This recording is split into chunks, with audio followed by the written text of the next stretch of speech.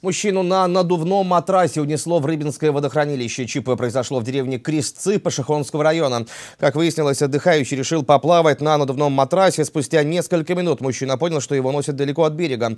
Беднягу сумел позвать на помощь товарищей, которые и вызвали спасателей. Путешествие по водохранилищу не было долгим. С дрейфующего матраса напуганного отдыхающего сняли инспекторы ГИМС.